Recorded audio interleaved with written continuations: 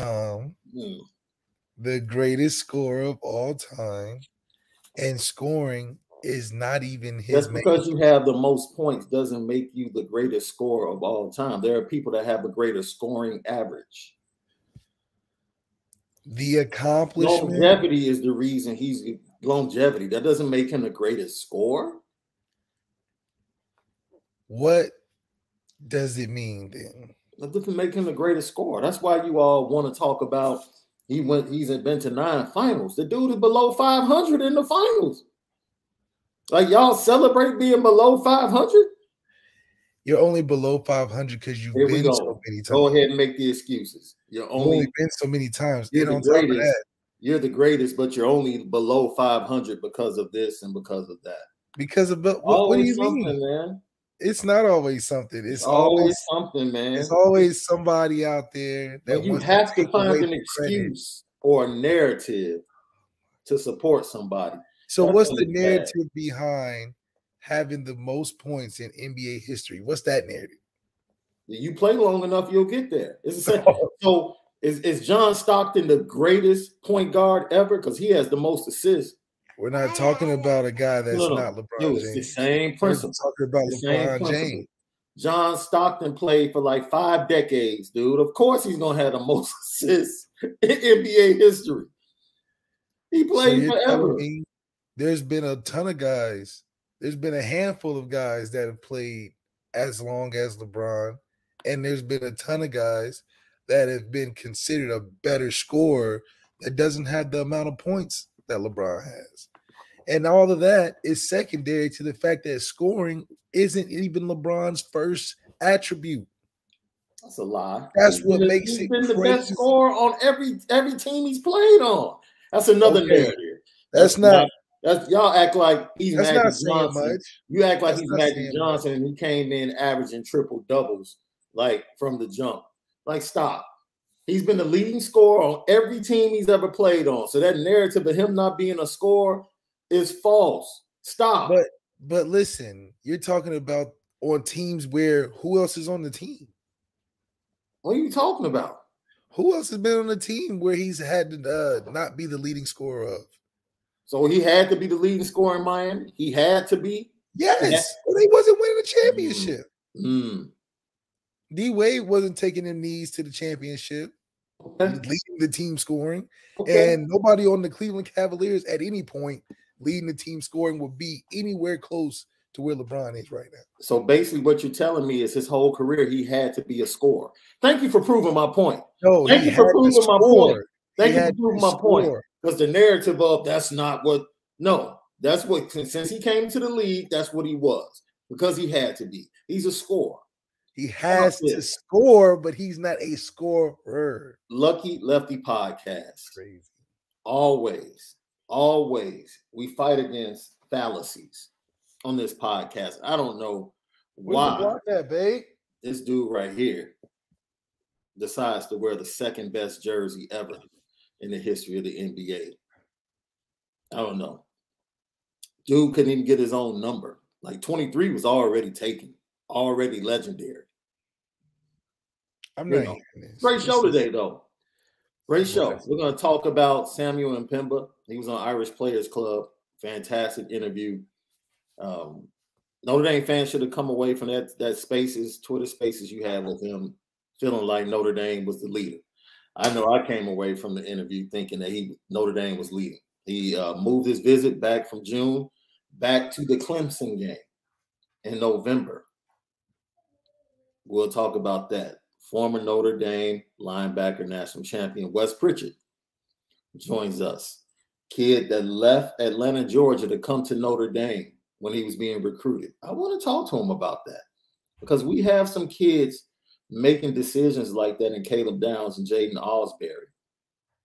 Do they decide to stay in the South or do they come to Notre Dame? We'll talk about how difficult it was for him to make that transition and ultimately, you know, win a national championship at Notre Dame. And then we got to get into some other stuff, man. Nick Saban copping a plea now. Right? And so you know what? If you make a mistake, if you say something now and you make a mistake and it goes viral, just own own it.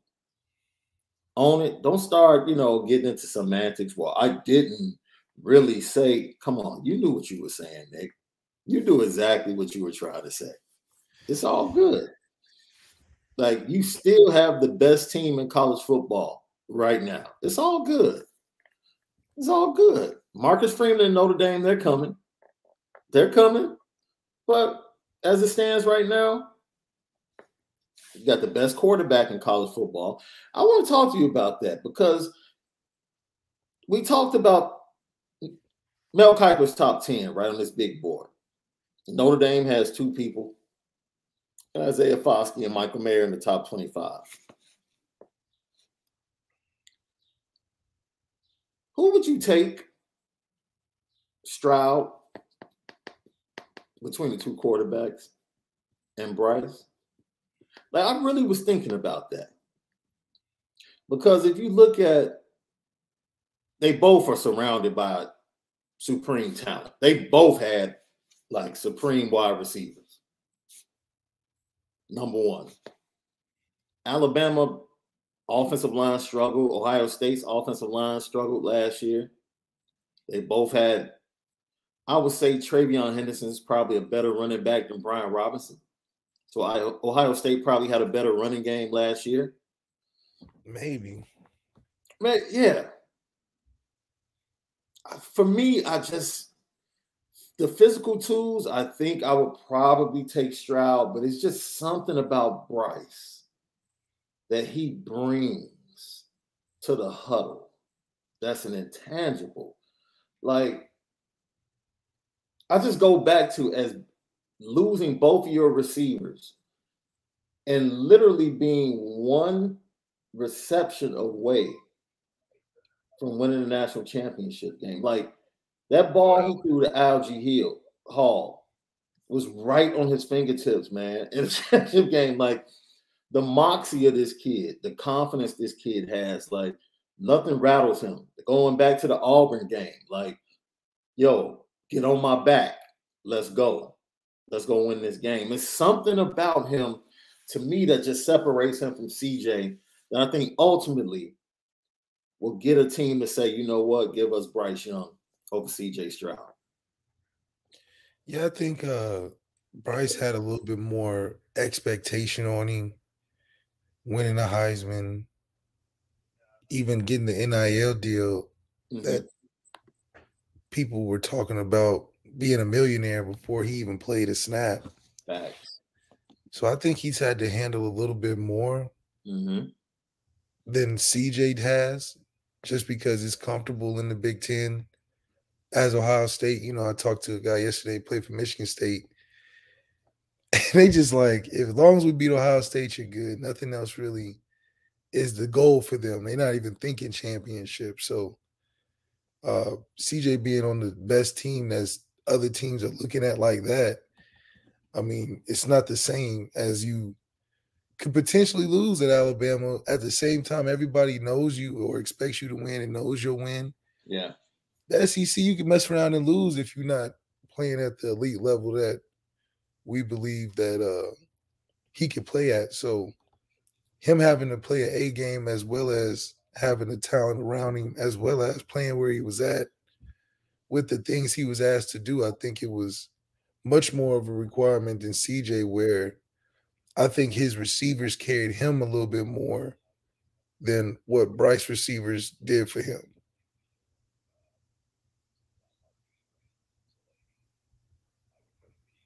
Yeah. You know what? I, I really gave some thought to that because I want to be fair to CJ. And I'll say this Bryce was definitely more consistent from the first game. CJ struggled, especially in that first game against Minnesota.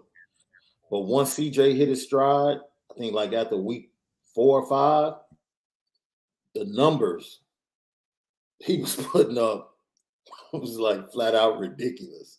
It was like, okay. And you have to be quarterback play is the determining factor a lot of times, right? Because you have, of course, we know Georgia was able to win with Stetson Bennett or Benson, as you normally call him. And but, I gotta get that right, by the way. That's good. Yeah. And that's outside the norm, though. That's out. That's that's that's not the norm. It's like normally you're gonna have a kid like Bryce Young, C.J. Stroud, win a national championship because quarterbacking in today's football is paramount, which makes you know if you missed yesterday's show, not only was it a great interview. Well, uh, former Notre Dame. Well, if you think about it too, it's just an interesting dynamic when it comes to that because how yeah. do you how do you uh I don't know how you say it, but I do think the the cool thing about what Bryce is being able to do, yeah, is put his team in position at number one and keep it at number one. I think that's a hard thing more so than individual um, expectation because the team expectation and what Nick Saban carries with that it's hard to stay the number one guy on the hill as opposed yeah. to kind of yeah. I, I agree. I agree with that. And for me, that's something. Does that weigh on Tyler Buchner? Because the expectations might not be as high, but on the flip side, there is the the cloud of Notre Dame quarterbacks. Like, is that something Tyler Buchner's thinking about? Is it something that he's allowing to himself to be motivated by to say, you know what, I'm going to go ahead and prove that I'm a guy because I know Tommy Rees wants to prove that he's an elite offensive coordinator. Yeah, I think I can speak. For, I would hope, you know, I would hope that Tyler would be excited for the challenge and and understanding of where he's at, being at Notre Dame. That you know you are expected of a certain level of play and yeah, yeah. overall ability. And so that's always existing there, especially with just the competition and all those things included. But I do think that uh, also what makes it cool that what I've experienced being there in that position is that you're so involved with trying to get better and staying engaged and staying in the moment that you don't mm-hmm. really think about it too much. Yeah. You know, hindsight after the game when you watching the ESPN and all the reviews, you're like, okay, that's what we did, that's what we accomplished. But you're so forward thinking and, and almost staying in a moment where it, that's what they say it passes you by fast because you'll look up and be like, damn, I'm a senior. so I do think that because it'll be so much involved in his in, in, in intermediate circle that he's not going to be so focused on the pressure of okay, I got to carry this thing all the way there, or just be a big motive, a big piece of carrying all the way there. So doing your job, which they preach a lot, especially Harry Hiestand, it really psychologically gets you locked into just what does it take to do the next task, which kind of keeps you focused on not everything else that can distract you. I'm wondering with this quarterback class being held as a pretty good class from a depth standpoint. You have guys like Will Levis from Kentucky, the Richardson kid down there in Florida, which you know, the Richardson kid is in the same boat as Tyler Buchner. like athletic with a lot to prove. Like still has a lot to prove. But I would venture to say that Tyler has a better team around him. You know what I'm saying? So the strength of this team makes me feel confident in what Tyler Buchner ultimately can do in his development. this is just a continuation of the show we had yesterday. You know, great interview with Pete Bercich, but also just your conversation and the way you broke down the three things that are really needed for Tyler Buchner to take the next step in his development right? And not worrying so much about, and, and most people might not want to hear this, right? Become the quarterback that you need to become to win games. Focus on that, right? Like you'll get to the other things, right? But become really good at these two or three things, and then allow the team around you to help you. Because it's not like he doesn't have talent around him. Yeah, Tyler Buchner definitely can develop faster around teams that are well equipped. I give you a perfect example of DeShone when I got hurt, was able to transition in a team where he played at a high level because he had high level players around him. Mm. When you got Quenton Nelson, Mike McGlinchey, Ronnie Stanley, Nick Martin in front of you, CJ right there, all star guys on the outside, you can ease your mind a little bit more to where you're like, I don't have to be perfect. I can miss and still be right. Have a chance of having a high success at the play with Will Fuller, with a right. Corey Robinson, with a Amir Carlisle. So uh, that makes it a little easier to progress and feel confident and getting better. But expectations always changes those dynamics. But in this case for Tyler, he's in a real good spot.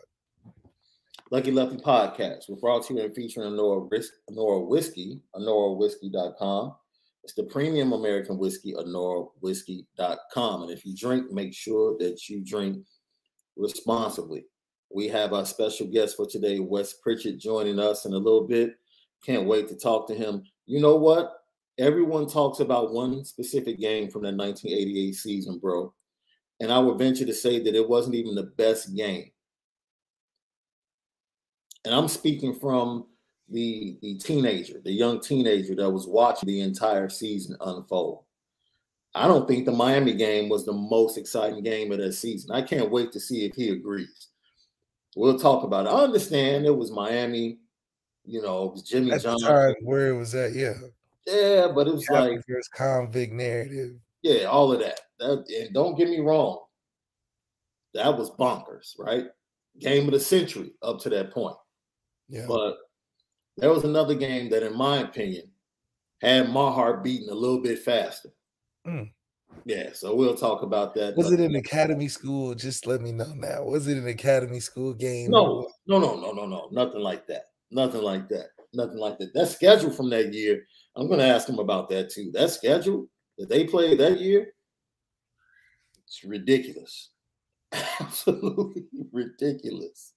So we play a little game because you know he's in uh, he's into uh, securities. So we play a little buy or sell game with him. okay. We play like give him certain topics, ask him whether he is he buying or is he selling. Mm. Yeah. Any so let's see, is it in court? You know what? Lucas Chapman had a that's for you you know, about the jersey. You know, that's not that's not that's not the case at all because mm, it's kind of similar. Ian Book and wins equate to team accolades. When you're individually getting buckets like LeBron James, that's different. Now, if Ian had the most touchdowns in Notre Dame history, I'm like, yeah, okay, I get what you mean. But even Ian with the most wins in Notre Dame history don't got the most touchdowns, which makes my point even better that LeBron James, even with a longevity award, you still don't know that you can get 40,000 points, not even being the known as a scorer, known as a passer. I'm still trying to figure out when he wasn't known as a scorer. Like I'll give you a perfect example. Kevin Durant has one attribute, and that's getting a basket. That's a score. It's not true. Kevin Durant won't hit true. Kevin Durant. True. What basketball do you watch? He has one attribute. What are you talking about? the best about? attribute that Kevin Durant has is a score. Okay, you now you said best. You said the one. You said he has one attribute. That's what you originally said. Okay, that's the same thing. You know why? Oh. Because we saw what Boston did to him. He can't do nothing other than score. He can't play make. He can't play. Oh, wait a minute. So if Boston double team LeBron, he we've seen what they tried to do. LeBron and his his great feats with Detroit, his great feats with the Celtics, his great feats just in general in the playoffs. The only time he had a fault was against the Mavs, but we can excuse that because you've been so many times. I mean, Man, let's dig in before Wes Pritchett joins us in a minute, man. Let's dig into this month. And it's a very pivotal month in recruiting. Um, you talked to one of the recruits that was originally scheduled to come in the weekend of the 17th through the 19th that has pushed his official visit back to the Clemson game in November and Samuel M'Pemba. What did you take from the interview you had with him on Irish Players Club? Man, you can tell that he really wants to get to the next level and you know, he's really locked in and focused on that and he's leaning on his mom and his his his parents pretty heavily on them having to like the place too. And I was telling uh I was telling some of the guys, I'm like, I think Notre Dame can convince moms better than Georgia can. So he was saying that may be one of the factors that that that are that are must.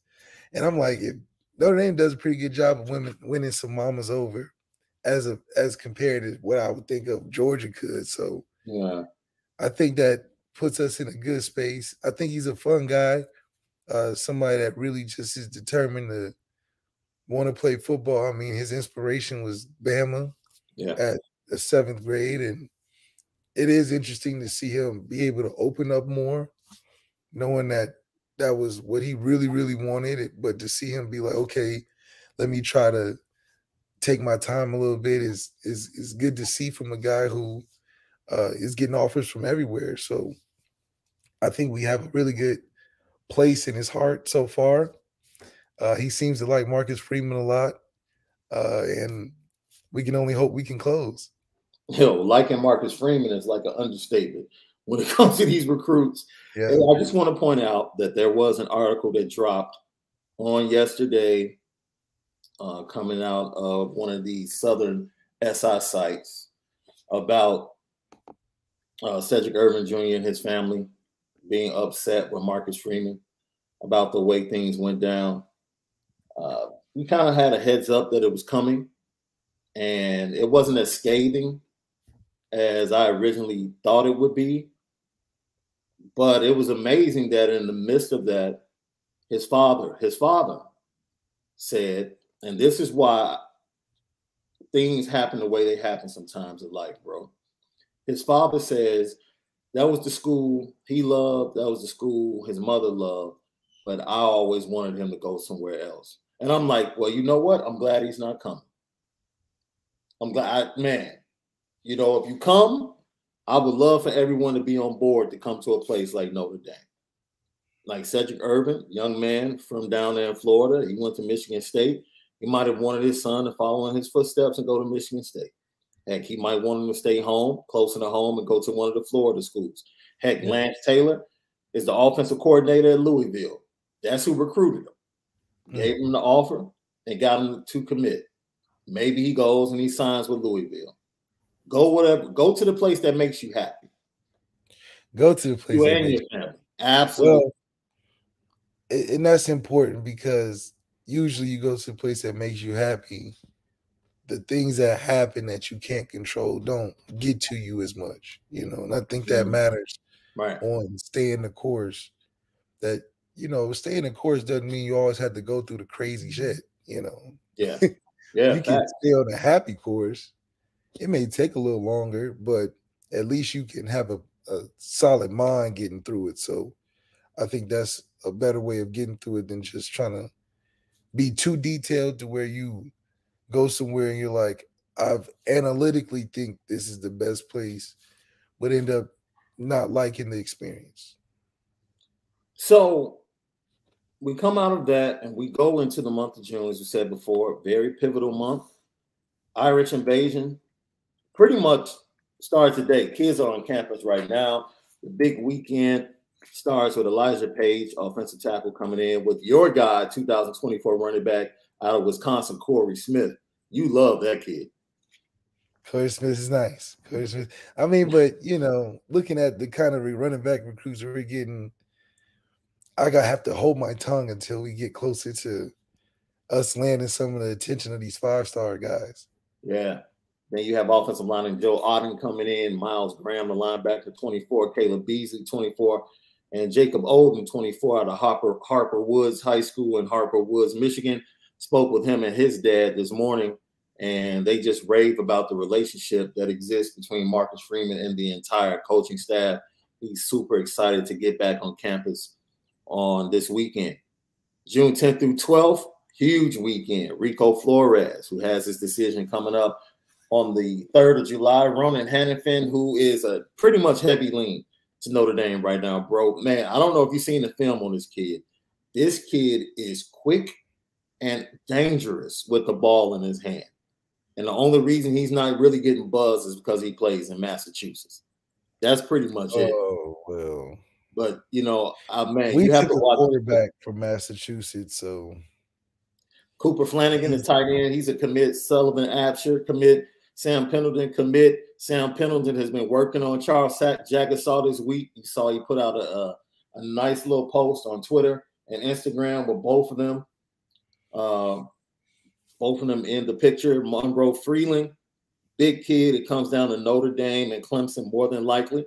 Devin Houston is a commit that'll be in. Jason Moore, he'll be coming in with his boy Devin Houston.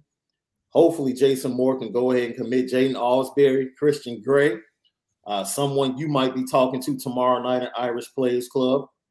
And you have Jeff White, cornerback out of the 25 class, Adon Shuler, Caleb Downs, Micah Tease, and Grant Reddick. That is a star packed and vitally important weekend for Notre Dame to do what you just talked about, and that's close the deal. Close the deal is vitally important. I think, you know, the one thing we do well is is consistency. So you're not really gonna catch us too many on the bad days because the grass is always gonna be cut. You know, the flowers always gonna be out, even if yeah. it's two degrees outside. and that just goes to how the inside of Notre Dame campus and the building and people are, and the buildings are as well. It's hard to catch them on a bad day. So I think because of how Marcus Freeman has built this program so far, this is going to be a weekend that's enjoyable. I mean, all the guys that you talk to say it's never about football. So I wonder if they may actually talk some football being in the facility and, and enough football to get them convinced that being a, and stay sticking together as a class yeah and forming a class like this can be something special for all of them involved and on the 13th through the 15th so that's two days richard young number one running back in the nation out of florida will be on campus and he'll be alone. Like it's just him. The entire time notre dame is going to be selling him on notre dame. That's key. And then that weekend, the 17th through the 19th, out of St. Louis, running back Jeremiyah Love from Christian Brothers, Jaden Greathouse, Brenan Vernon, Notre Dame commit, Jordan Hall, the linebacker, Micah Bell, who is leaning, according to reports, towards Notre Dame, Josiah Wagner, cornerback, and Christian Hamilton is the new 23 offer at the wide receiver position out of North Carolina. Talked to his head coach yesterday his head coach, who has been coaching for over 20 years, said he's the best player I've ever coached. Who he's the best player I've ever coached. Christian Hamilton. He just got offered by Notre Dame and Chansi Stuckey. I believe over the weekend. He's a 23 wide receiver, 6'2, about 190 pounds out of North Carolina. If I'm not mistaken, I believe it's the Asheville area, if I'm not mistaken. But yo, you look at his film, Another explosive kid. Chansi Stuckey is finding. And what's his name? Christian Hamilton. Why you might want to get him on Irish Players Club. Say it again. I'm trying to say, why is that? I'm just thinking, why does that sound so familiar? But said the best player, huh? His head coach, who's been coaching for over 20 years, said he's the best football player I've ever coached. Wow. So when he said that, I was like, okay, all right. That's wow that's that's pretty cool. But no, the Ronan Hannafin, I think Ronan Hannafin, Hannafin for me is the most underrated wide receiver out of all of the guys that are left on the board. Just my really? opinion. Why is that? Man, dude, because you watch his film, and I understand, you know, people like, well, who is he really playing? Look, I don't care what anybody says. You run you fast. The talent supersedes the competition around him. Say it again. You're saying the talent supersedes the competition around him. Well, that's like saying, you know, just because Josh Burnham, who has been killing it this spring, played in one of the lowest uh, classes in Michigan. If you're good, you're good, bro. Like, yeah. if you're good, you're good. if you're good, you're good. And it, with some of these kids like Ronan Hannafin, man, they're not going to get. If Ronan Hannafin played in Florida, he probably, he might be a borderline five star.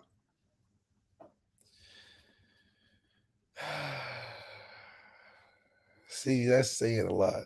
I'm trying to tell you. I I I challenge you to go watch his film.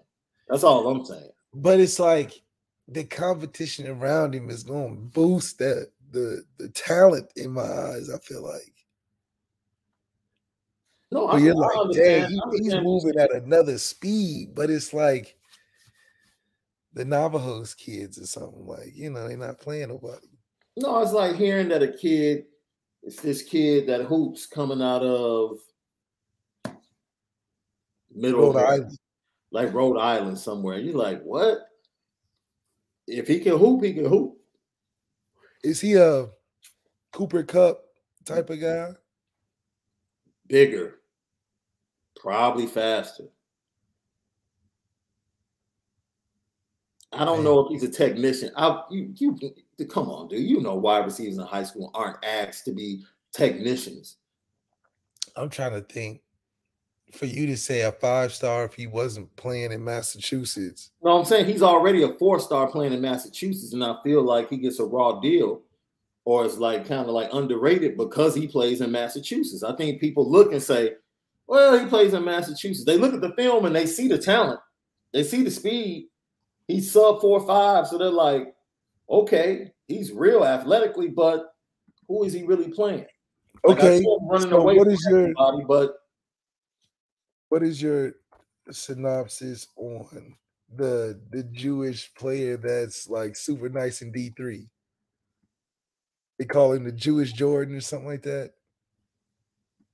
What do you mean? What's my synopsis? Like, do I think he's an NBA player? Yeah. Do you think he's like draft all of that? He'll get the opportunity. Oh, okay. But he has to prove that. That's my point. Like I can go okay. watch him play and say, "Yo, he has skills." I'll give you. I'll give you a perfect example, right? Um, if you go watch Jimmer Fredette hoop, you'll say to yourself, "There's no way this dude isn't in the NBA." Right? Because you just watch this dude play pick and roll and shoot jumpers all day and knock it down, make passes. You're like, okay, yeah, he can play in the NBA, but then he gets in the NBA camp, and you ask yourself, why doesn't he stick?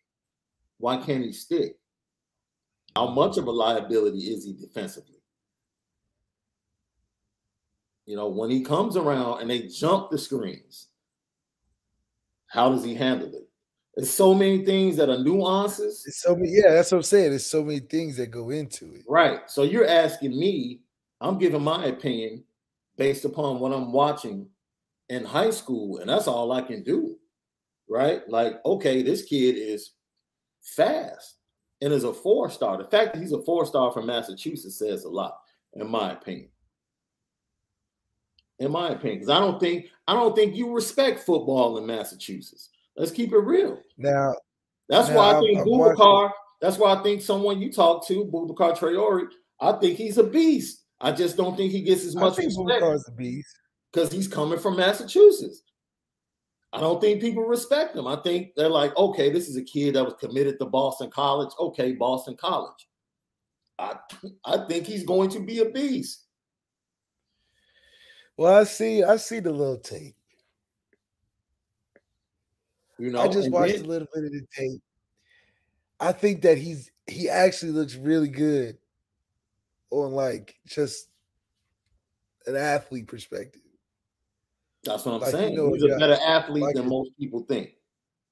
Like a Taysom Hill. that's that's who you're talking about. You know what? And you know why I said Taysom Hill?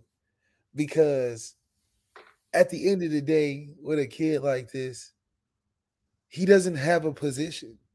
because at the end of the day, on top of that, Mm-hmm. he's average at any spe- any specific position. He's a good football player. Right, right. But if you put him in a room full of running backs, he'll be like the bottom half of the talent. But if you put him in a room full of receivers, he's probably the bottom half of the receivers. Right. But if you put him on special teams, he might be an All American. That's the type of player he is. hey, I just think he's a better athlete than most people give him credit. What's more Oh. important in your mind? Do That's you all think do you think that like for instance the way Marcus Freeman has brought in a lot of two-way athletes Yeah. Is that a positive over the the getting a specific let's say Carnell Tate who's bona fide receiving five star that's all he do I mean, you build you build a room, right? Let's say he ends up being.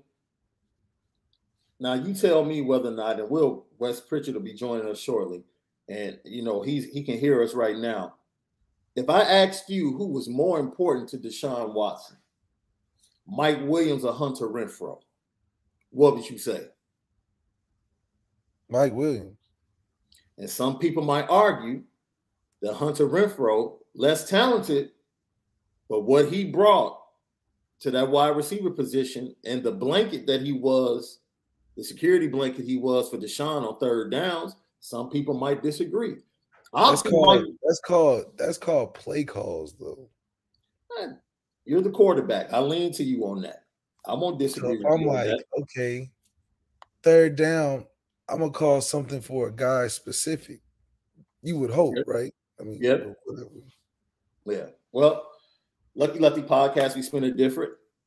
Special guest getting ready to join us right now. He is a former Notre Dame linebacker. He is a member of the 1988 National Championship team. He is one of the best ambassadors for Notre Dame football and the University of Notre Dame. And we want to welcome him into the Lucky Lefty podcast right now, none other than Wes Pritchett. What's happening? Wes, how are you doing? I'm doing good. How are you? Hey, Malik. How how was your holiday? Too short. That's it was right good. I had a good time. It was real. Actually, I I uh, I didn't do very much. I was going to go out of town, and then I ended up hanging around here and playing golf and going to the pool and hanging, going to a barbecue. I've got my uh, I've got two boys that are getting recruited in football, and so we're getting ready to go on a big uh, like the next two weeks. I think I go to eight camps or something like that with the boys. oh, yeah a whole different world than what I grew up in. I can tell you oh that. yeah it's, it's Similar, different nothing. Mhm. So before we get to that, How, how did you shoot? How did you shoot this weekend? I played pretty well. I mean, I'm a four handicap, Nice. so I take it pretty seriously. yeah facts I think Malik and I, when we go on the course, where you can just call us handicaps. Like we, yeah yeah we No, I look. I, I've been as high as a 15. I, I grew up playing golf though, so my my somehow I, I don't know. I'm a I'm a contradiction. I, I was I was grew up playing golf, and then I played inside linebacker. So I, I don't know how that works. Um, and I loved golf. Golf was probably my second favorite sport. So wow. good story. So we were going to save this until the end of the interview, but with your experience and securities, we want to play a game called Buy or Sell with you because you open the door for it. I got That's that right. figured out. You buy high and you sell low. Absolutely. Yeah, So that's you right. Buy the about dip. Buy the dip. how things have changed from a recruiting standpoint. Are you buying or selling the way things are now in recruiting versus how they were when you were being recruited? I mean, I think I'm just accepting. You know, I can't. Mm. I don't have time to figure out what's right or wrong. I've got, you know, it's just what I'm trying to figure out is first of all, what's the process? Yeah. Well, how do these kids get these stars and all this stuff? Like, you know, you're talking about, you're talking about. I mean, you've got all the 2025 kids classified. Really, you got ninth graders ranked already in for top 300. You know what I look like in ninth grade versus what I look like my senior year. I mean, I, I grew. I probably grew. I'm not even joking. Probably 10 inches and gained 40 pounds. I mean, you know, it's it's a little frustrating. I, I think you you have to be in big immediate attention um, to or have some kind of pedigree or you know I we just didn't know. My kids are really good in lacrosse as well, so they and I didn't know anything about that sport, so I had to. That whole process is even weirder than football. It's all about the mm-hmm. club teams and the two or three tournaments and as a junior and we spent his whole summer get camps. I mean, getting in these playing on these national teams and playing on these in these lacrosse tournaments. It's offers in Division One lacrosse, and then he tells me this summer that he wants to play football after we've so, did the whole thing. Sophomore year, we should have been going to these. So the football camps are huge. So you go up and you go to Notre Dame and Wisconsin or whoever you know you get invited to or you want to be invited to, and you make sure your end zone uh, evaluation, if you will. And so, um, you know, he missed all that. Senior tape. I mean, I've never seen. I haven't seen a better tape yet this kid's tape is unbelievable. But I mean, who's he playing against? So he being a long story short, he tore his ACL in March. So now he's already had the surgery around his rehab. So I don't know what the hell because he still got offers from like Air Force, Army, Navy, uh, he was getting a lot of interest from Power Five guys, and now he's kind of on the back burner. So now I may reclass him. So I don't know what I'm. I, that's a long-winded way of saying I don't know how the hell this somehow slide our four stars up hundred. You got it made. Once you get Power Five offer, you tip made. It's that first offer and then these guys all fall in line. I mean, you know, my kids ask me how I got recruited. I mean, this is the honest to God truth. I have no clue. I started one day. I don't know how the hell Clemson and Georgia and Notre. I really have no idea how I got recruited. We didn't do anything, you know. So now it's you have your Twitter account you have to you're DMing coach constantly, you're updating constantly. I mean, and I told my kids, I said, take a step back. This is your first job interview. You got to go sell yourself. What is your dad? I've been selling myself for 55 years. I haven't had very much to sell, and I still sold it. So you guys have talent. Now it's you got to go out there and make these people believe. Have to. Yep. Old and Do they think, like yeah, that's that's a really good idea. Then their girlfriend calls and they leave. So, I mean, tell you what, though, I have spent more time and effort on this shit than I ever dreamed I would. But you know, at the same time, my buddy's like, "Yeah, well, you're trying to get a free education." I said, "Yeah, that's a good point." So I guess I'll look at it like a seven hundred thousand dollar commitment. So I'm going to do it. That's right. I mean, it definitely seventy five grand a year, brother. It's, it's not an easy thing. Go to 80. And you know what's crazy is that you're right. Recruiting is is it's kind of like the NIL stuff. It's the wild, wild west. There's not a lot of direction on where to where to even start at. But do you find yourself kind of I don't know, like being more invested in trying to get your guys motivated with so many different distractions now that is way different than when we were getting recruited for sure well. I, I was a t-shirt and a pair of shorts to work out in when I was at Notre Dame. Even 10, 15 years later, when you guys played, at least you had like a pair that. I'm not joking. When Lou got there, about six months in, we finally got an Adidas sweatsuit that had an interlocking ND. It's the only one I ever took off. Are you serious? So, you know, I think my kids, you know, in high school right now, the NIL thing is not anything that they're that's they just want to play, they want to live their dream and play, I think, in a power five school. So um for them, they're not at the up or even thinking about NIL. They just want a spot on the team, which I think is great. Now that um, but yeah, the world we live in. I mean, I've had, and you know, we I raise money for people, and we I, I understand a little bit. Um, this NIL thing, you talk. I mean, this is Pandora's box on steroids. Pandora's box, and they opened up, um, you know, all the things that we were trying to protect in amateur athletics. Um, there's no regulation or rules or order. I mean, you can do just totally vague name, image, likeness, and any clown in the world can come in and hand you supposedly money for you doing shooting a commercial. Yeah. And then there's like, well, you got to be with market value. Well, fair market value is what somebody will pay. So how do you argue some guy pays this guy, whether it's egregious or not? Right? Yeah. So Oh, I, I don't. I, I think it's killing me. I mean, you, you do something and it seems to be going pretty. Like, you know, and made that decision? And we're in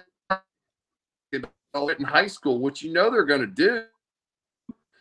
The listen, the SEC and the ACC can legally buy kids now. They are going to. Yeah. They're definitely gonna buy them. Yeah. hey Wes, we're gonna ask you to see if you can reconnect because you keep dropping in and out a little bit. I don't know really? another a better signal you can get in the in the house or I, I've got a full signal. Let me try. I'll, I'll leave and come back. Okay. Yeah, we hope to get them back and hope to get a better signal and uh, bring them back in immediately. Yeah, the crazy story. But the fact that they just they just got a suit, Adidas suit. I was about to say that. The craziest whole story is that they had to convince him to get just one. Just one. With, with the interlocking ND. Now I thought we complained about them being stingy in the equipment room. Cause I'd be like, hey man, you got all those sweatshirts and shirts back there. Go ahead, you know, Right, slide something in my little my little cubby hole. right. I couldn't imagine if we didn't get nothing. What do guys what you would have guys not having nothing to wear right now Right. if we didn't have team issue gear at school for some of those guys.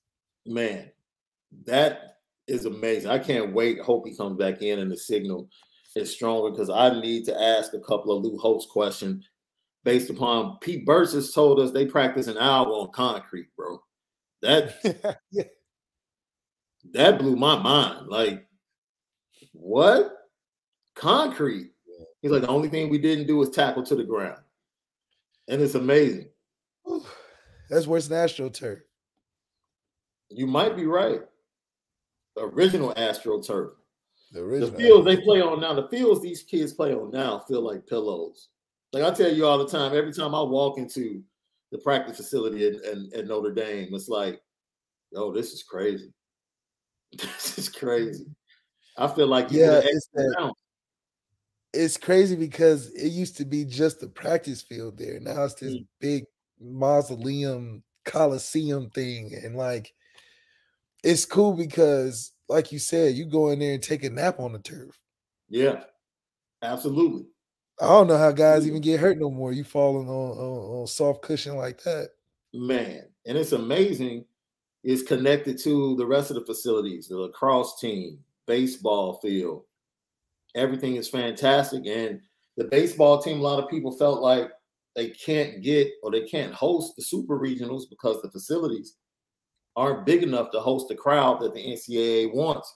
And they're talking about Notre Dame might end up having to improve, you know, that part of the facility as well. So it's going to be very interesting to see how these kids come in this weekend or this month and they look at these facilities because like you said they're vastly improved from the way you see them and wes is going to join us again Hey guys.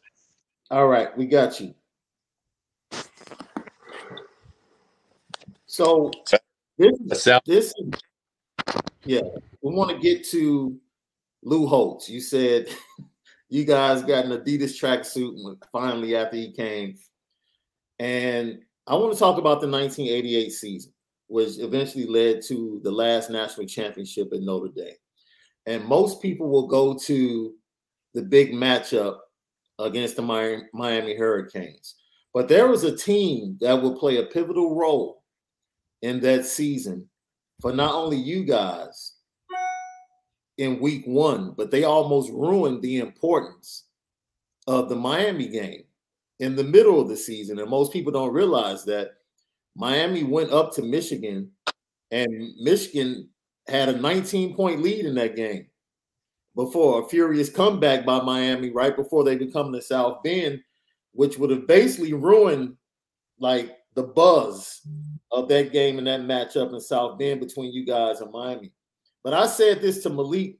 I said, I'm going to ask Wes because I remember as a teenager, my heart was probably beating faster during the Michigan game than it was during the Miami game. I think people people forget just how good that first game against Michigan was when you guys came away with that 19 to 17 win. You know, um, that game always set the tone for um, the season. And that was, you know, I mean, the heyday of Bo Schembechler, Michigan was loaded. They were huge. I mean, every game we ever played, the first play of the game when those offensive linemen broke the huddle and came up to the line of scrimmage, you're just like, you got to be kidding me. Still, they the biggest team I've ever on the field, and I've included. I've never. They had Jumbo Elliott was one tackle, and the other tackle, the guy was bigger than him. Skrepenak, him up. He's like 6'7", 325. I mean, they were just freaking monsters. and you know they had big 235 40 pound fullbacks and i mean it was just if you go back and watch that game it literally was just we just stood it like two bo- two heavyweight boxers standing in the middle of the ring and just punching each other there was no you know a trick play was a counter oh goodness yeah. i mean it, oh my goodness tight so it wasn't it wasn't no tricking about it. It was we're going to run you over. This is what we're this is where we're running stop us on both sides of and uh you know they had a good kicker too. I think the guy's name was Gillette. Yeah, Mike Gillette. Uh, and uh, I'll never we're winning 1917 with like 30 seconds left. I'll never forget it. And Lou calls us so it's like a 40, it wasn't a it was 40 something. It wasn't like 49 though. It was probably like 42, 44. and Lou calls us over. They're gonna miss it. They're gonna miss it. They sure as hell did, and uh, we and we win that game. And you're right. That was that was huge. And by the way, supposedly, I, I don't know if this is right, but I think we beat Miami 31 to 30 that year. Right. And I, I Michigan 31 to 30. Yep. Is that right? Yeah, that's correct. Crazy, crazy. Yeah. So that game wasn't even. It wasn't a football game. That was a fight because you're not trying to even scheme. You're just saying we're. we got in that game for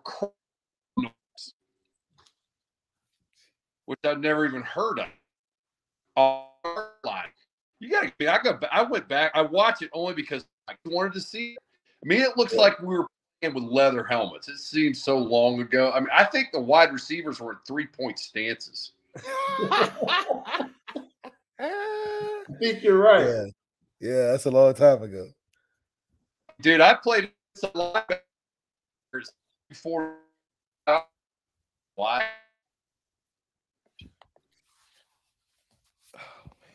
Oh man, oh, a connection. I mean, I've got a great connection, so I don't know. I should full bars. Here, let, maybe hear? it's me. Let me try. I'll try this time. Yeah, we'll try it because usually it's much better if you're working on your phone to connect to the Wi-Fi. Well, I got Wi-Fi, so it's probably me. My Wi-Fi's downstairs, but I got Let me see. But yeah, Rough. Done vacuuming? Are you done vacuuming? Okay. Let me go downstairs. All right. But yeah, that game for us, Wes, you know, when I look back at it, I remember my heart beating so much faster just watching that game because it was back and forth, heavyweight fight. You know, you guys you guys threw the early haymaker with the punt return by Ricky Watters. The crowd went crazy. Michigan comes back, they take the lead. You guys come back and take the lead early in the fourth quarter. Michigan comes back. Gillette kicks the field goal to go up 17 16. And then you guys come back and run right down the field and take the lead. And Michigan still has, like you said, a little bit over a minute left. Well, we also kicked four field goals in that game. We couldn't get the ball in the end zone. Yeah. That was also Tony Rice's first. No, he had started the year before. And I'll tell, and I also think that um, you know we were really the thing that's the most interesting about the '88 team Mhm. is um, we had something like I got to go back and count it, but it was like eight or nine first year starters that were sophomores. Would you like to hear who they were? Yeah. Roll call. Todd Lyght, Pat Wow. Terrell, Dan Smagala, Chris Zorich, uh, Jeff Alm, Yeah. Tim uh, Grunhard, Braxton Banks and Anthony Johnson, Ricky Watters, Rocket Ismail was a freshman. Uh, Tim Ryan, Andy Heck. I mean, dude, are you kidding me? Like with all of that being said, nobody knew. You know, you got not half of the team, shit, more than half yeah, were your starters that were great. yeah. so did So- you guys have the mentality? Because this is Lou's third season. He's 13 and 10. That's his record going into this season. Did you guys have a mentality with like the new starters and everything? Like we're a national championship team from the jump when you were going through camp? I don't think anybody on that team thought we were national champions. I think we thought we were really good. I think we had really started buying into Lou's. You know, it takes it's it's a mindset as much as anything. Mhm. to learn how to win again and believe and trust in the process. You know, you hear Saban talk about that all the time. It's Lou was the same way. Um, and I think when we won the Michigan game, we knew we were good. Uh, and we all, you know, that game was always close back in those days. I mean, it was a field goal at the end of the game every year. Mhm.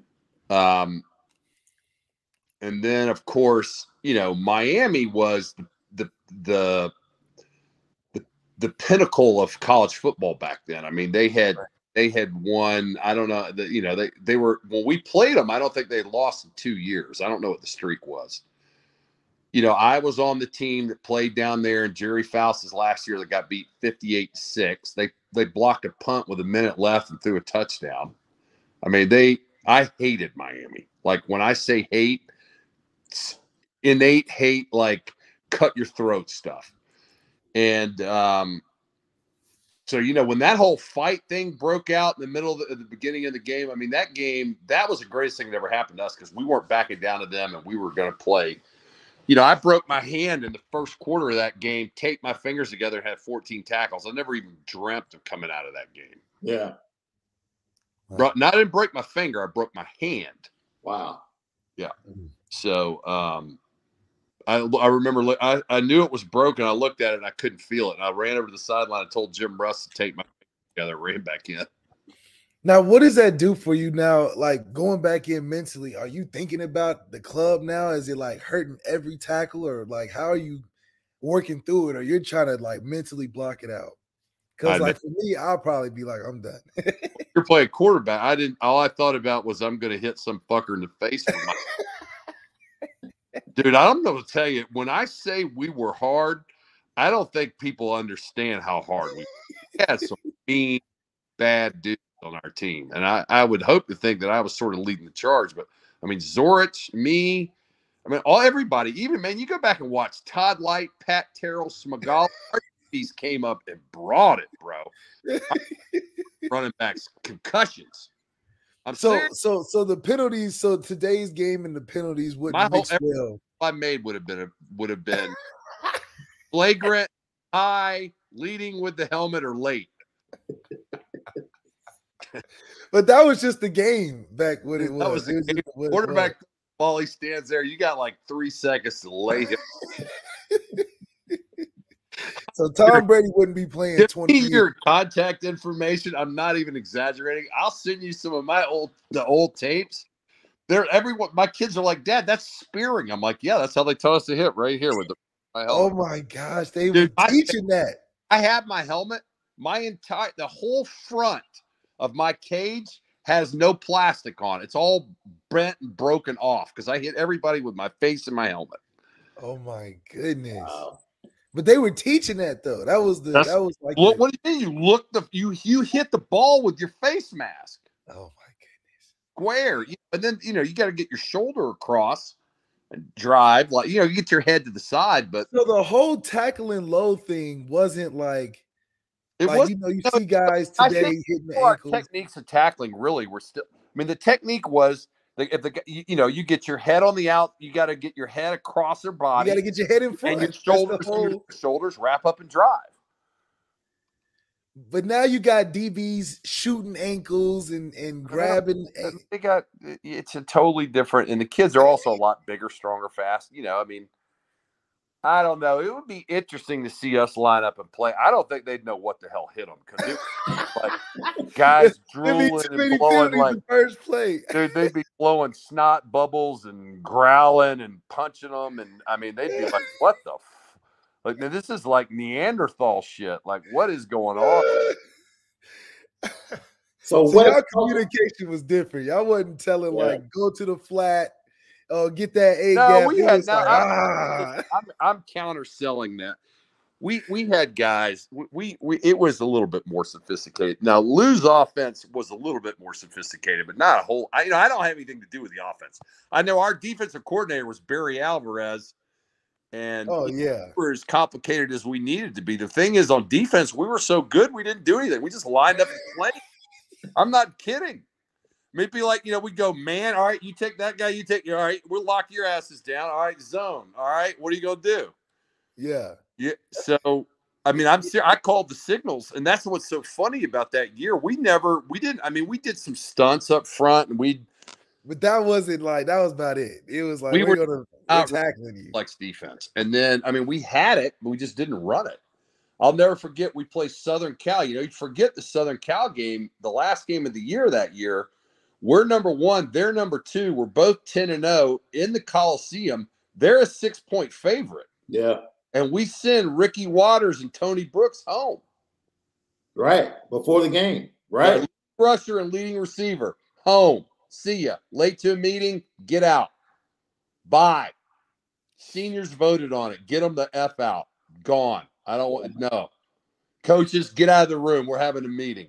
We had a meeting in there, guys. It's like Braveheart, man.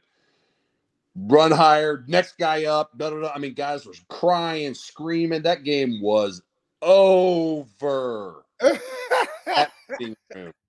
we kicked them in the face, knocked Rodney Peete out. We just bullied them. They were huge too. Their whole offensive line was 6'6, 325. They had a big, they were massive. We drilled them in the face.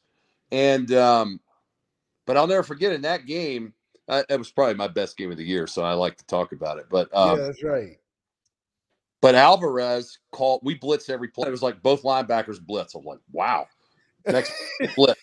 no zone. We're not dropping we're back. he didn't tell me all week. He had. I had no. We hadn't called these blitzes all year. and he didn't tell me about it. Man, I was we were just shooting. We were gone. Just he's like go. He's like just go. Like relentless, relentless. So anyway, that was awesome. It was a fun year, man. What What do you think? What do you think was the the defining piece during that time for you guys that you watching Notre Dame football the last 10 years have been missing from what y'all had to what we would been missing or close to getting to? I think it's a couple. Uh, you know, I think it's an attitude, and I, you know, I, I don't know that I can explain it unless you've lived it. Just a true belief that you're not going to lose, and you won't accept that you're going to lose. I think we had good talent, we had good coaches, you know, um, but the mindset's a big part of it. Lou was a big game coach. That's Lou, all that matters. Big, That's all that matters. Cut it right there. that was, you know, dude, like our leader to- was telling us how we were going to beat them and why. Yeah, and y'all believed it. Stepped into the onto the field. That's what he was talking about. First Yeah. we'll be best, and we'll be first. Blah blah blah. You know, I mean, and he always had this thing like we played Michigan. I talked to Bo today. Talk about Bo Schembechler. I said, Bo, the boys have been working hard. Maybe we should take a day off. He goes, Nope, coach, I'm not going to do it. We're going to work hard up here in Michigan. It's like, sorry, fellas, I can't give you the day off today. We're going to have to work harder than the boys up there in Michigan. Silly shit like that. But I mean, at the end of the day, Lou had like, this is how we win. he had a whole, he had like a formula. This is our formula. These are your priorities. This is, you know, he said the same things every day. And, and man, Yeah. after a while, we were like, maybe we started believing this little guy. And then, you know, and then you win. And by, I'm telling you, by the end of that season, bro, we once we beat Miami, it was over. We drilled SC. We beat them by like 20 points, and they were good. And then the next game, then we played West Virginia. Well, West Virginia had beaten everybody by like 28 points. I mean, they were unreal. Yeah. And they had explosive quarterback offense. We freaking sh- knocked Major Harris out the first quarter. Done. No, John. See, not, gone. we're gonna No, bully yeah. you. We bullied people. That's what the difference is. Yeah. We bullied people, and we had swagger. Yeah. Was Swagger. out was- I was about to say we were. you guys had True. characters on that team. What's that? Chris Zorich was a character. Oh, we had everybody was character. You guys, the knuckleheads, you, Stam, Stonebreaker, you guys were characters. Smagala was a character. Character. You had characters on the offensive side of the ball. For you guys to have a meeting and tell the coaches to get out right before the biggest game of the year, one versus Yeah. two, with everything riding on it, and 100%. sending. Lou didn't want to send them home, by the way. I'm, I'm, I'm sure he didn't. I'm sure Lou's like, didn't. what are y'all doing? Yeah.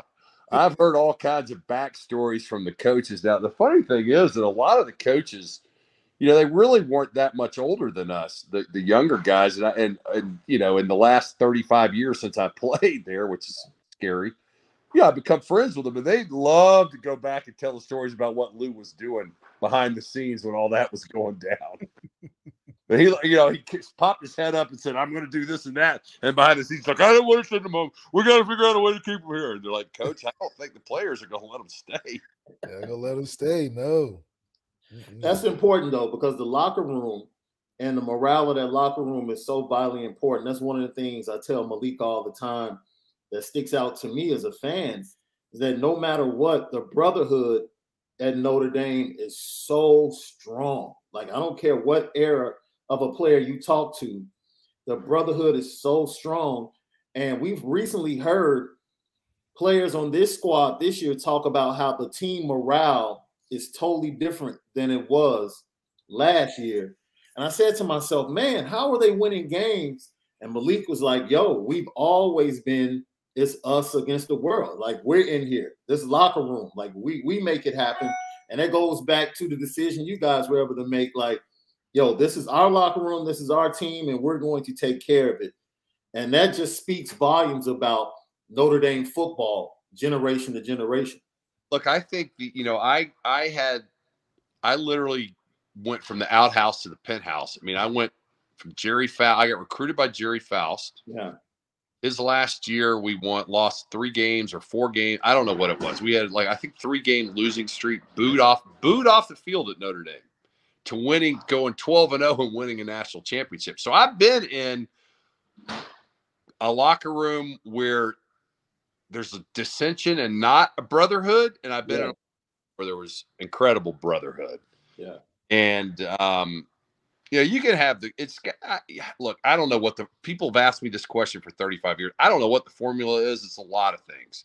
it's getting lucky a little bit. It's the coaching. It's the, you know, Lou Holtz letting Barry Alvarez do his thing on defense and us kind of running wild, uh, you know, and sort of setting the tone for the offense and uh, the chemistry all came together. And, you know, I, I, mean, I think Lou would tell you that the team in 1989 was, he thought was probably better than the team in 88.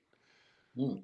And because they had, you know, they had, of course, they, they only didn't lose a lot of players um, in my year. And the next year, they lose to Miami down there. I guess they went, they won all their games except against Miami. Yeah. And Lou says that's one of the biggest regrets of his his his life is not allowing the team to play loose no. against Miami. Pulled him. He didn't let him fight. Miami yeah.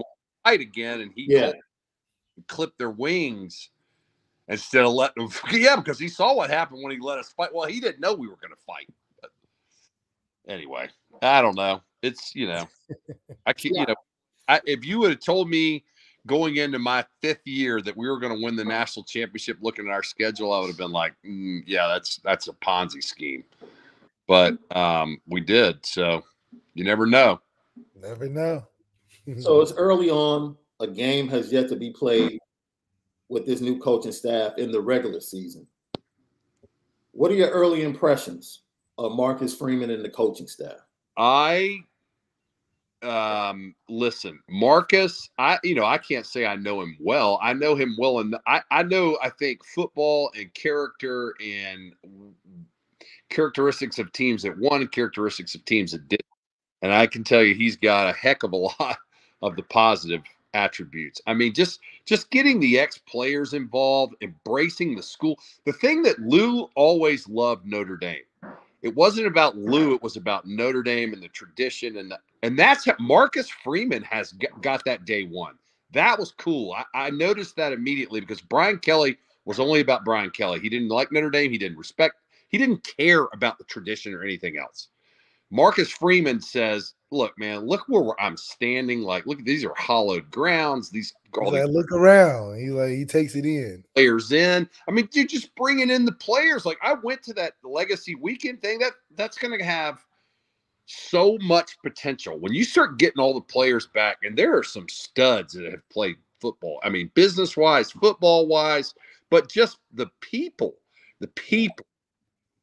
Um, and, to, and he's going to start having guys like on the sidelines. I'm telling you, man, it's look. And, and I met Al Golden, who I, I, spent some time with. He seems unbelievable. I loved his. I mean, they they seem to have it going on, man. I hate to be. I think so too. I think they got it going on be, in that staff room. Be, you know, I I always laugh. I don't want to overpromise and underdeliver, but man, I'm positive about where we are right now. I mean, I I'm positive about the first game. What do you think about first game? He's, he's going to take some blows. He's going to learn. He's going to be thrown in the fire against Ohio State. They're going to be stacked. Um, but I'm not going to get discouraged about it because I think, man, here's another thing, dude. I mean, he can recruit. And let me tell you something. We keep bringing all these kids. I mean, Lou was a great coach. Lou had all these great things, but we had dudes. Yeah. I yeah. mean, let's call a spade a spade. I'd love, I mean, I'd love to say out, you know, I was pretty good myself, but I had a lot of good guys around me. Yeah. You know, I mean, at the end of the day, we had, you got to have the players. And then oh, if you got all the other stuff too, well, then, you know, I think, I think we are exponentially in a better spot than where we were with Brian Kelly. Because yeah. I don't see, we were in a terrible rut that we were just going to win. We're never going to win a national championship, but we might win nine or 10 games every year. Yeah. And nothing going. There was no, I didn't feel like we were closing the gap to get to that next level. And I already feel like that's happening. Um, you know, coaching, coaching, I mean, you got to have the players. To me, a head coach in college is all about what you stand for more than anything else. And this guy stands for all the right stuff. So how can I not be on board with that. I don't know. What do you think, Malik? Yeah, I think yeah, right on right on the the button where he has all the things that you can't really explain. Like you said earlier, it's like unless you've been in that moment, unless you understand the campus and everything involved in the tradition of the program. I think Marcus Freeman, what he's done the best so far is is understand where he's at. That alone gives the confidence of the people that have been there, people that have been supporting, especially former players, that if you can understand it, getting there your first year of what I've experienced, what you've experienced at our time at Notre Dame, and you can bring that all together and and what you're trying to do and move forward with, that's what makes it feel like a national championship run. I'm sure down in Alabama, every class that's been through the Saban era probably feels like that that next year they're part of the team. that the year coming up because they're great and they're related to the year they were there. So I think Marcus Freeman, if anything, is going to give us the feel that you had in 88 and 89, and, the, year I had in 15. After that, my, our year in 88, the bar, the expectation and the bars of everything that we did went up every year yeah. after, for the next eight. Yeah. Notre Dame was an inch away from winning another national championship, and they got screwed twice. Inches. Yeah. Uh, 93 with Florida State and Boston College, and then the year with Rocket, 91. Yeah. yeah. Four, but anyway, but you're right. Stuff. 100% correct. And it's setting the bar, and I don't know. How do you guys, how did you guys feel? Like, we're talking about like what the players coming back meant for Notre Dame. What did the legacy weekend mean for you guys? What did it do for you guys personally? you want me to? T- I mean, I, I for me, um, you know, I think when Lou was there, we kind of still felt like we had a connection to the university. Um, and I still knew a lot of the people at school. And, and I think in the last 15, 20 years, I've, you know, I don't feel like I've really been a part of that at all on any level. Yeah. On any level. It's crazy. and, um, and I I think it was I think every single guy that I talked to, whether they were my year, young, I mean, I talked spent a lot of time talking to guys I didn't know from the 60s and 70s. I want to talk yeah. to, you know, I, I've always done that. I mean, I talk to the current guys too, but I think it every single person from that that showed up there that has played at Notre Dame said that this was long overdue. You've got all this potential with all these successful people that have gone through all these experiences right here at your fingertips. It costs you zero. Zero. And Marcus is a genius because he said his whole pitch is Notre Dame four for 40, which is exactly how my dad pitched me. By the way, I didn't want to go to Notre Dame. I wanted to go to Georgia. Okay. um, my dad just kept the four for 40. I'm 17 years old. That did not mean anything to me. Only thing that no. mattered SAE party that I had been to the weekend before in Athens with all the pretty girls. That's all. Oh, pretty girls, dang. I mean, dude, Athens back in those days, my God. But anyway, but he's pitching this four for 40. He said he said something that I thought was really cool. And this is when I realized the guy's like on the second and third level of thinking this stuff at the right at the and uh, about it the right way. He said, "We don't need NIL. What we need is you guys. This is what the players need to understand. This is what you can do. These are your opportunities. These are the businesses you can get in. I'm telling you, that was genius.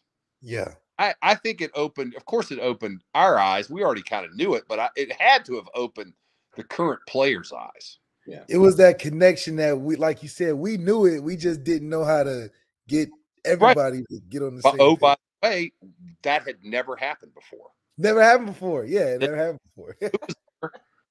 no, it had never happened. And I think you wait because guys like me and guys that are a lot smarter than me, we're going to think about ways the next time that happens to to elaborate on that and make it even better. Yes, because it was it was so cool that we was like, wait, we could. And then you have to do something.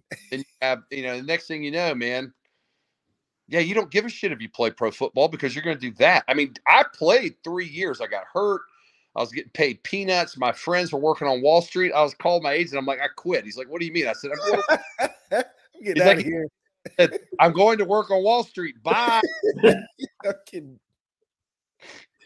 I have a broken here. hand and a dislocated shoulder. This is dumb. I'm this is this yeah, bye. This is dumb. I'm too old for this. I'm just dumb. Get paid nothing.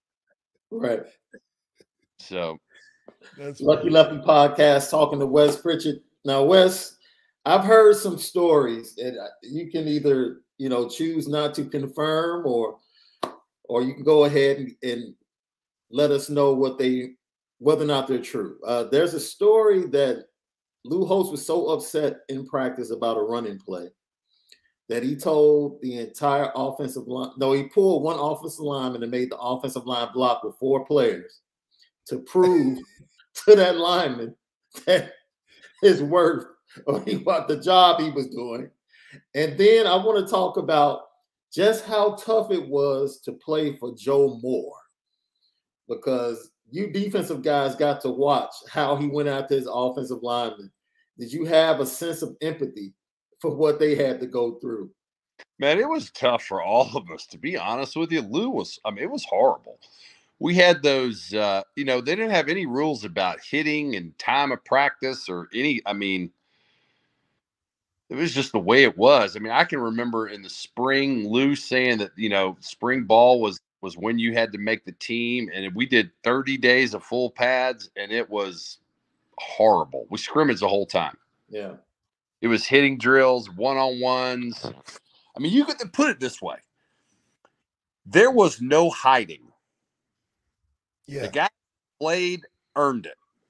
Yeah. And I don't think anybody on our team, whether it was Joe Moore, and yeah, Joe Moore was amazing. He's legendary he's from another planet. He wouldn't even he wouldn't be accepted today on any level. They they hmm. could what he would do. He was always smoking cigarettes. I mean, he was he was he was so old school. But dude, he coached. I mean, he coached like Bill Fralic and I mean, his years at Pittsburgh, he coached the best offensive lineman that probably ever played the game. Um, you know, and he was just brutal. He was brutal. I mean, he just never let up on those guys. It didn't matter if you were an All American or or a walk on. You had to, you know, it just was fundamentals, fundamentals, fundamentals, and that's all Lou ever did, man. All we did was work on fundamentals. The way we shuffled in our linebacker drills, the way we took a step on punt team, everything was orchestrated always. There was never like my techniques, our techniques were flawless. Yeah getting leverage, getting getting off the shooting off the ball low, extending your hands. I mean, just everything was mat- very meticulous. Yeah. And we worked, we worked over and over and over and over and over again on on technique. A lot of technique. I mean, yes, we hit and all that, and we and we trained like crazy, but we worked a lot. Lou was a tactician too. Now, um, and that carried over, I think, into all the positions. So, I mean, there's no look, no shortcut. I mean, you got to have good players, you got to have a good coach, you got to play, yeah. you got to get lucky. Yeah, kind of, you know, you gotta you gotta make sure your key guys don't get hurt over the course of the year. We had very little injuries, if any. Yeah, my senior year, very little injuries. I mean, you know, so I don't know. What's your favorite? We know, of course, ultimately defeating uh, West Virginia in the Fiesta Bowl, pinnacle of that season. If you were going to bookmark one moment from that season to let someone, to let a Notre Dame fan in 2022, that's a teenager, know what Notre Dame football is all about, what would be that moment? If you were sitting down with a young teenager right now that's a Notre Dame fan, you had to pull up one thing on YouTube, what it would be, what would it be to let them know what that season was all about and what Notre Dame football is all Man, about? That's a hard question. There were so many. You let out for me, and this is something I jokingly say because I don't like the visitors' entrance now. Yeah, I grew up watching you guys come through that tunnel. Yeah. With Miami, with USC, and whether it was a fight or brawl or just talking trash back and forth. I just for me that was college football. Like that's that's how you. I mean, you have to say you'd have to say the fight in the tunnel against Miami. Yeah. yeah. I think that defined our entire season because those guys had punched us in the face three years in a row. You know, and um, we're warming up, and they're down the other end, and and they ran right through our drill intentionally, and we were let them know that that was not going down. Right. You know? And uh, yeah, I mean, I guess if I had to pick one, that would be more of a yeah, because I think that's reflective of sort of our attitude, and that was and that changed the entire. Not that it changed the entire season, but after we won that Miami game, like I said, I mean, that, there was it was on. It, nobody was going to beat us after that. Now I'm glad we didn't have to play them again, but um, that would have been interesting if we had played them again, like in the playoff. That would have been because. I think I think we would have adjusted. I, physically, they could not beat us. Schematically, they could. Like running the ball and all that, we, I, we I would throw their linemen around, but their their offense was way advanced for the time. You know, so. yeah. So it would have been interesting to see how you guys would have adjusted to that. I think offensively, Lou would have adjusted, and I think you guys would have been more acclimated to seeing what they showed you guys the first time. Yeah, Barry. Let me tell you. Here's another thing, and don't kid yourself. Alvarez is every bit as good of a coach as Lou Holtz.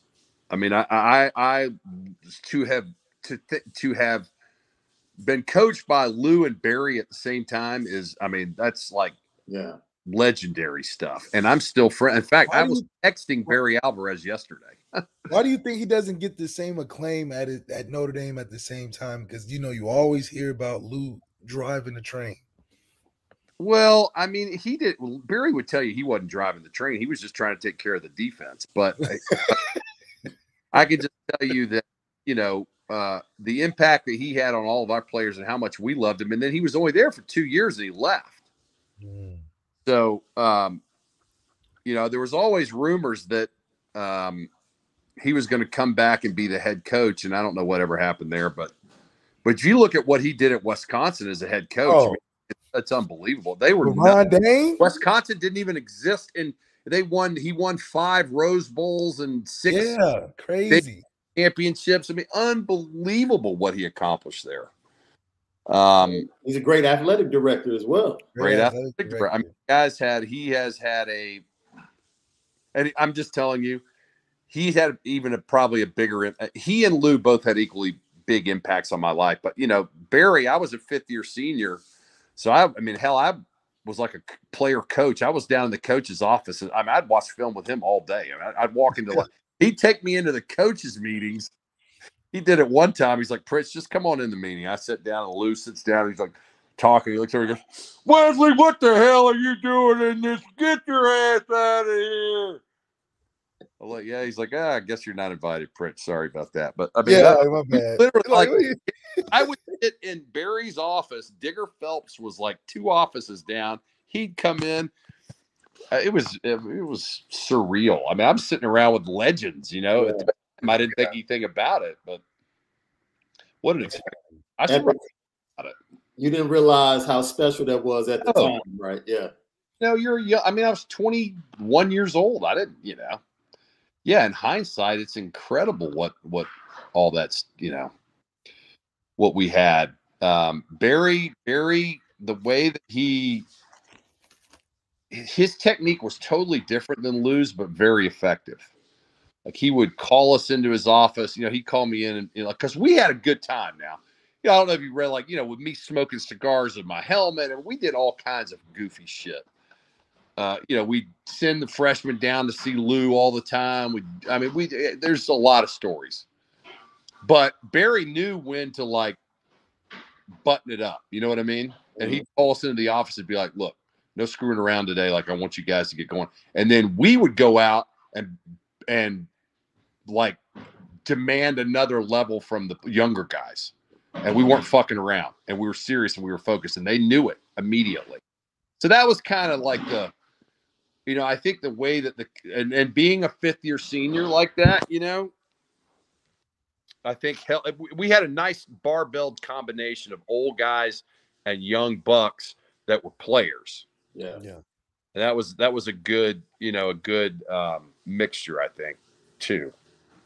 Um, you know, but you didn't hear Malik when I was saying the first year starters on that team were um, Rocket Ismail, Ricky Watters, Andy Heck, Tim Grunhard, Tim Ryan. Who else on offense? Is that anybody else that played in the NFL? Good grief. uh, I'm trying to think. I think there's one more. And then on defense was Chris Zorich, Mike Stonebreaker, Pat Terrell, Stan Smagala, um, Jeff Alm, all NFL guys. Yeah. So we had 11, we had 11 guys, first year starters that were sophomores that all played in the NFL. What was that moment like the first time That's you crazy. saw Rocket? How about that? What was the That's first time you saw Rocket in the practice? Like when you first the first time you saw him in action, what were your thoughts? You know, it's funny. Back in those days, man, we it was like uh, two different teams. Like the offense and the defense did not play together. Okay. I mean, Lou. Nobody wanted to be near Lou, and Lou didn't want anybody near. So we wanted the the offense. But there was plenty of practices where we had gone in, showered, eaten dinner, and those fools were still out there practicing. Very, very. Y'all was practicing in like, units. It Y'all are no done. team practice. Showers. You It hear was Lou. a unit Set practice. the clock back to period 20. And we'd be like, oh man. Oh, Barry's like, y'all are done. Get out of here. Wow. So we But talked To answer your question, I, Yeah. you know, I didn't even pay attention to the offense and much less a wide receiver unless uh, unless I was playing him. I, I was so focused on what I was doing, but I, I would be in, it would have been in a game. First time, you know, I, all of a sudden I saw some like freaking just like the flash go run. I mean, dude, that guy was so fast. It was like, and I had played with Tim Brown, so it's not like I hadn't been around guys that were pretty fast. Tim Yeah. Brown was fast. Rocket was faster. if that was even possible. You know what I mean? Like Yeah. he was Rocket was so in a straight line. I mean, he was just it was crazy. I, you know, it didn't take Tony. You know, he was so we did Rocket was a freshman. So it wasn't until later in, on in the season that we started throwing the ball to him because Lou realized that nobody could cover him. So, and all we did, we'd line up and smash it in everybody's face. And then all of a sudden he could play action and he figured out Tony could take three steps and throw it as far as he could, and Rocket could run under it because nobody was going to be there but Rocket. right. That's crazy. So what are you looking forward to with this season? You said it's going to be a tough task going into the horseshoe. you know, I just want to see him. Uh, you know, I just you, you only learn by jumping in the fire anyway. I mean, I you know, I, look, the Oklahoma State game was disappointing. Um, I think that you know you had your offensive and defensive coordinators though, like already gone, or new guys coming in, or interim. That that makes it really tough. You haven't, you know, he's got to. I can tell you this: Al Golden, from what any, every anything that from me doing research on him and talking to the guy, they're going to be good on defense. I think we're going to be really good on defense. Really, really good. I think. I so, think we're going to be really good on defense. Um, you know, on off, I, I, I man, just play hard and be and be in the game. That's that's all I'm looking for. Effort, effort, effort. I just want to see effort. You know, that's all I've ever told my kids. You can't worry about anybody else. You just when you go out there, it's you can only worry about yourself. I mean, you Yeah. can motivate the other guys, but Yeah. Yeah. but you also you are in charge of how hard you play. That's fair. And what you think is hundred percent today ain't gonna be hundred percent when you go to the. You know what I mean? Like Yeah. What I man. thought was full speed in high school. What I thought was full speed my freshman year in college was not full speed my fifth year in college. No. You know, Yeah. This is one of the most important months in recruiting. A lot of big time recruits will be coming to visit Notre Dame. A lot of 25 kids coming in for camps, along with 24 kids. There are two kids coming in that Notre Dame are trying to get that are five stars, both from the state of Georgia. Have Notre Dame in their top three.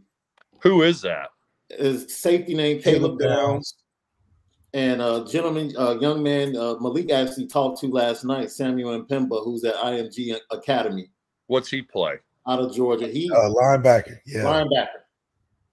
What Great. would you tell those guys, Georgia kids, deciding to leave the South and go to Notre Dame?